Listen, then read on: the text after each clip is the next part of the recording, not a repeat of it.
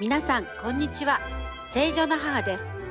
チャンネル開設1周年を迎えることができました。これもひとえに皆様のおかげです。誠にありがとうございます。ということで今回は少し趣向を変えてチャンネル開設1周年および年末特別企画自分自身の手と見比べながら視聴してみてください。1年の終わりに自分自身を見つめ直し新しい年への準備をしましょう。手相は私たちの性格や運命可能性が記された地図で今回も生命線や知能線を中心に手のひらに隠されたメッセージを読み解いていきます。あなたも一緒に自分の手相を見ながら視聴してみてください。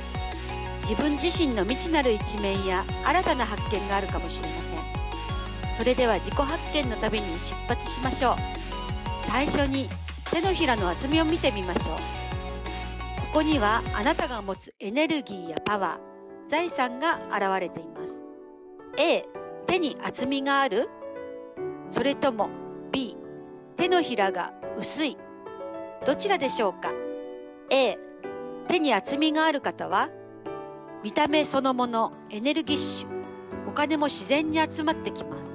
特に親指の下あたりが厚い方は愛情が深いと言われています。手の厚みにエネルギーを貯めているんですね。B 手のひらが薄いあなた。冷静沈着タイプ。ただクールに冷たそうには見えますがトラブルにも冷静に判断できる方です。周りの状況を把握して的確に行動する。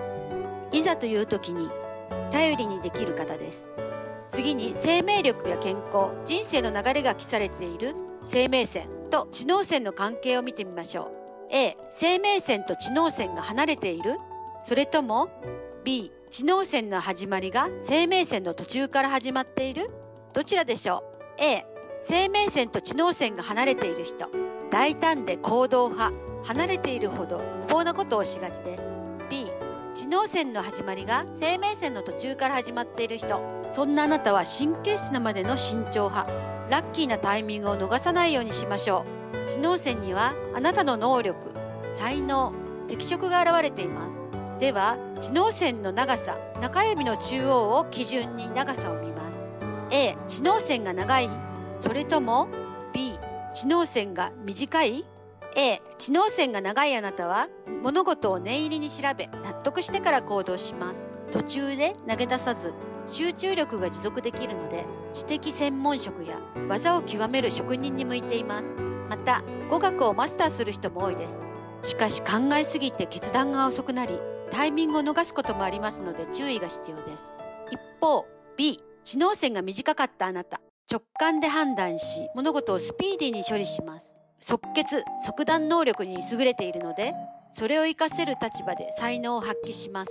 起業やスタートアップなどのチャンスをつかみやすいです。ただノリだけで行動するには注意が必要です。知能線が伸びている方向を見てみましょう。A 手のひらを水平方向に伸びている。それとも B 下部に向かっている。A 手のひらを水平方向に伸びている。そんなあなたは現実主義合理的論理的に考えられる人。仕事に対する好みではなく対価に見合った仕事をこなせます。組織内の競争に勝ち抜き経営者や投資家として成功するでしょう。お金儲けの才能がありますが打算的にならないように B 株に向かっているあなたは夢理想を大切にします。ロマンチスト想像力や創造性があります。芸術家やデザイナー作家クリエイティブな仕事で才能を生かせるでしょう。好きなことは没頭してしまう現実離れしやすい。頑固利己的に見られやすいので注意しましょう。現実的なパートナーに応援してもらうと十分に才能を生かせるでしょう。最後に運命線の方向を見てみましょう。運命線には運命の方向が記されています。A 運命線が中央に向かって伸びている。B 運命線が薬指に向かってカーブしている。A 運命線が中央に向かって伸びている人は自らの意思で運命を切り開く人です。B 運命線が薬指に向かってカーブしていたらあなたはお金と名誉を得ることができるでしょう。あなたの手相はいかがだったでしょうか？ご家族や友人と見比べても楽しいですね。感想コメントお待ちしております。このチャンネルでは手相や人相占い全般について5分以内で解説しています。ショート動画も配信。待ち時間や移動中にご視聴いただけます。占いに関する質問もお気軽にお問い合わせください。